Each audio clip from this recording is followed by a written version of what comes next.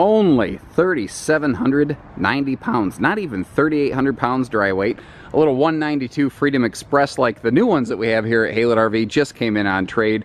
One owner, just exceptionally well kept. They used it quite a bit, had a good time, and they were just ready to get up to something that had uh, a little bit more size, luxury, and comfort. Not that there's anything wrong with this coach, it's just they wanted one a little bit bigger.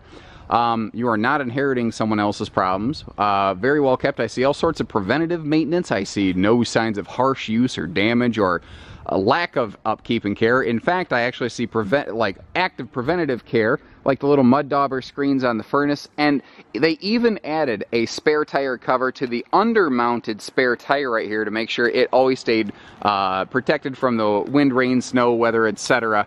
to just a, a maximum possible degree and inside it will continue to impress. One of the more popular aspects of this floor plan, uh, the Freedom 192 here, is its ability to be fully accessed with the slide out closed, as it is currently. This camper doesn't even need to have a slide out. The slide out just makes it nicer when you get to your destination. Now the slide out plus the taller ceilings on these give this little camper a great big feel when she's opened up. And when the slide opens up, you just get that big spacious feel and a little couples camper. Now part of what's doing that is something I mentioned earlier is taller ceilings. Freedom Expresses, um, not long before this was built, actually went taller than uh, a normal ultralight. Most ultralights are six and a half foot tall walls. This is three inches taller at six foot nine. That allows for taller slide out, bigger cabinets, and a taller shower, which are all things as a bigger person I really appreciate. Now, uh, you see all sorts of uh, LED lights in here, uh, all LED interior lighting. I like that extra skylight above the bed. Um, that is a, a longer, full 80-inch residential length bed, so you do have uh, the ability to upgrade to um, you know, a normal mattress or get sheets that fit that more easily. Now, you'll also find out because the slide out is actually located above the floor, there is no need for any sort of carpeted flooring in this Freedom Express. So this is an exceptionally easy cleaning camper. You don't even really need a dustpan or anything. I guess you could flip stuff out the door, but easy to also Swiffer clean if you're so inclined. Folks actually were camping in this just last night. This is in basically camp condition. We haven't like gone through and detailed it. They were just really decent folks who took care of their stuff, which is always nice to see. Now, uh, there is uh, storage below the master bed right there. It actually, uh, normally it wouldn't have like any sort of easy lift system, but the previous owners installed a couple real simple sort of um, almost like folding table leg locks just to keep it propped up. It was actually really inexpensive and really smart how they did it. And it's something I'm going to pay attention to because that might be something we can uh, kind of use here at our dealership. Very effective. Full length hanging closets. And uh, you've got full overhead storage as well. So it's, you know, this isn't the biggest camper in the world. We don't have a full fifth wheel bedroom side here, but we're also, you know, not hurting for personal camping storage space. Now this TV up here, um, it can swing out and pivot down to face this sofa. It can face the master bed. Um, so you always get a good angle at this. It's not going to be a neck wrecker. If the TV swing arm mount were just a little bit longer, you could probably technically watch TV from the toilet and you might still be able to pull it off. I don't know. Uh, down below, Bluetooth, DVD stereo, when that first started to become a, uh, a pretty darn popular thing. But it's really the kitchen that kind of takes this one home. Like the living space, the open space, the, the feel, the lightweight nature is nice of it uh, in this camper right here. But when you see how much storage there is to it, it's the it's the one that just really drives it home for a lot of folks. And then, blam! It opens right up, and you see that this little camper has got a pretty big, uh, you know, attitude when it comes to the kitchen stuff. There's a lot of kitchen goodness going on here. Um, starting with these uh, full extension drawers, it's nice that, you know, they're plywood box, a little bit higher grade. And you'll notice kind of a, a nice little upgrade going on. Not a high dollar upgrade, just a smart money upgrade with the sealed edge thermal foil countertops that we're looking at. So, um, you know, if you happen to splish splash water around the sink, it can't really, you know, do any countertop damage. Now, um, over here, below the sink level, first of all, they gave you all the storage space they possibly could. Now you see that there's a little divider there on the uh, the right side. It's probably protecting something like a water pump. But up here, we've got the utensil drawer, the old Freedom Express utensil drawer. And it is the best use of space under an RV sink I've ever seen because it actually wraps right around the sink bowl if you see the little middle cutaway and it gives you a purpose-built fork, spoon, knife, etc. utility drawer with a little uh, easy removable tray down here that you can quickly and easily pop stuff out. Now it looks like the previous owners swapped out the some of the original little faucet end hardware here for something that they could kind of crank and angle and spray around a little bit, which worked a little bit better for them. A little bit nicer uh, stone cast sink, which is rated for up to 500 degrees, so you can literally pour scalding water in it because water evaporates before that. Big kitchen breeze window, and notice that it tilts open for airflow, so it's very functional on a rainy day. Now, um, there's little kind of, ooh, let me get away from that window, little storage pockets kind of uh, below the TV there, perfect for like phone charger stations. But the taller interior also allows for taller cabinets. So those bigger things like iced tea pitchers and jugs, or, you know, even if you put a little shelf organizer in here, there's more space. You can always find something to do with more space than less space. And over here right by the door, we've got a couple really nice features. We've got a handy like extra pantry right here. So what I like too is it recesses back a little bit so it's not in your face when you first walk in the door and I need to clean my camera lens constantly. It's a dust bowl out here.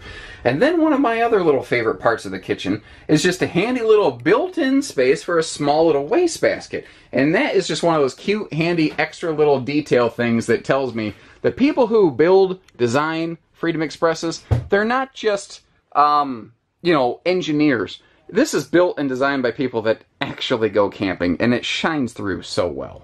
So moving on from there, we've got this nice, big, open, expansive living space. And, uh, you know, we've got a taller ceiling, we've got lots of room, we've got all kinds of leg room in front of the sofa. It's got a nice little lounging experience right here. And if we look at the top of the slide out, you can see that we've got, uh, you know, a full overhead cabinet, plus that is a full breeze through window. Right across from the kitchen, get great cross breezes through here. But where do you eat? What do you do when it's time to eat?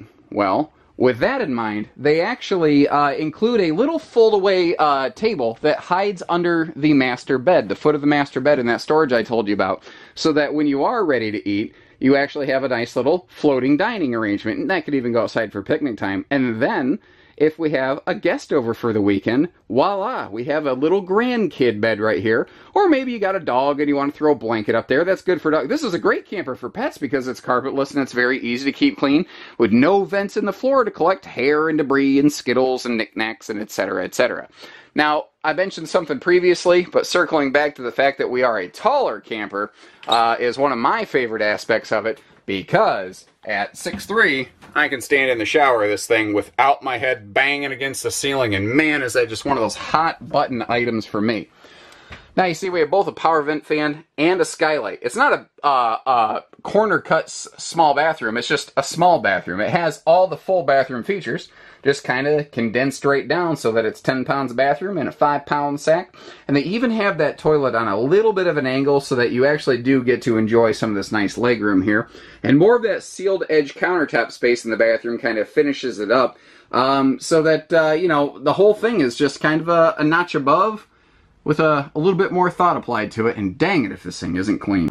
It's kind of funny. I'm not good with cars. Like, if you tell me like you look at a car, somebody like, oh, that's a 67 uh, Mustang. I don't know, whatever. They can tell by looking at it what it is. I can kind of do that with campers. Like I can look at this and I can say, this was made during Coachmen's 49th year in business.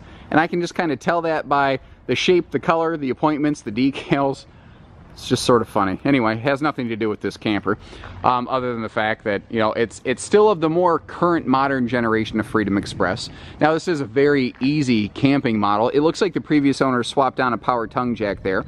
You may also notice that we've got just a, a maximum length power awning um, not a long coach, so they couldn't put like a 30 foot power awning on it, obviously, but they put the biggest awning on it that they could, and by and large, it looks all right. Those are also tilt adjustable awning arms. You can kind of pull one side down and lock it in place if you want a little bit of that.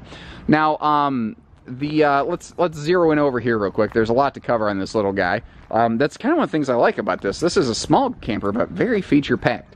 So you've got the self-storing little Hideaway Coleman camp grill here. What's nice about these is it's a high output grill, meaning a, a, general campground breeze is not going to blow out the flame on this. And it's a real grill, not a cooktop. You can actually do grilling on it, which is great.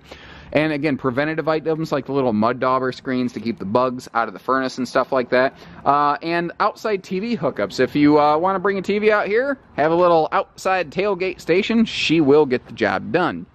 Now, Freedom Express was one of the first, maybe the first, lightweight travel trailer brand that made big floor plans, big open spaces, cavernous, expansive areas like this. And uh, like this has roughly a 42 cubic foot amount of storage space in just this front pass through alone.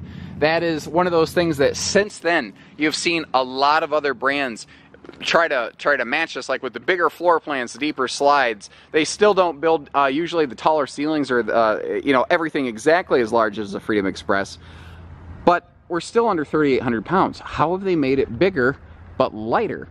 It still has a full walk-on roof. You know, it's got the uh, aluminum structure, laminated walls and floor, that helps. But one of the secrets to the Freedom Express sauce is the Azdel aspect of their laminated wall panels because it makes the it, it's lighter than wood basically, and the Azdel material itself is, cannot rot, mold, or mildew. Um, it is extremely good for making this wall like ex exceptionally water resistant.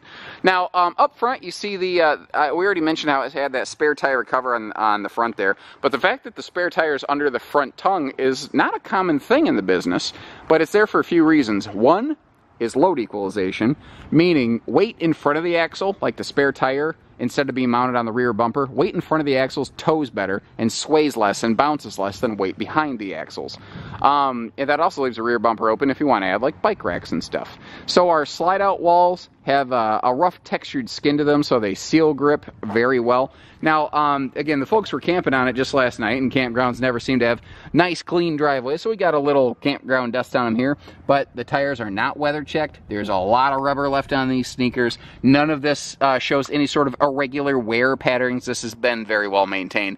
Single sewer outlet is also very handy here so that you don't have two different poles to deal with. Not that I think that's ever really a deal breaker, but um, it's just a convenience item. Uh, full outside utility shower right there, so if you're cleaning fish or hosing off the dog or just rinsing off your own feet or something, if you took a sandy walk around a beach or trails, handy little spot there. Um, like I said, the roof is fully walkable. You, you, don't see a ladder on the back of these. That's something that in just really the last couple recent years, more and more and more folks have said, we need ladders on these. So like if you see our new Freedom Expresses here at Haylett RV, you're going to find ladders on the back of them uh, pretty much now. Double entry step, bigger entry handle, make coming and going easy. She is locked, stocked, ready to camp. Well, I guess not stocked. There's nothing in the cabinets other than the original owner's manuals. you get the idea. So whether it's hitching pieces, parts, trades, financing, truck and trailer package deals, RV delivery, and everything between, we do everything here at Haylett RV of Coldwater, Michigan. So with that, take care, stay safe, have fun, and happy camping, everyone. This is sharp. This is very sharp.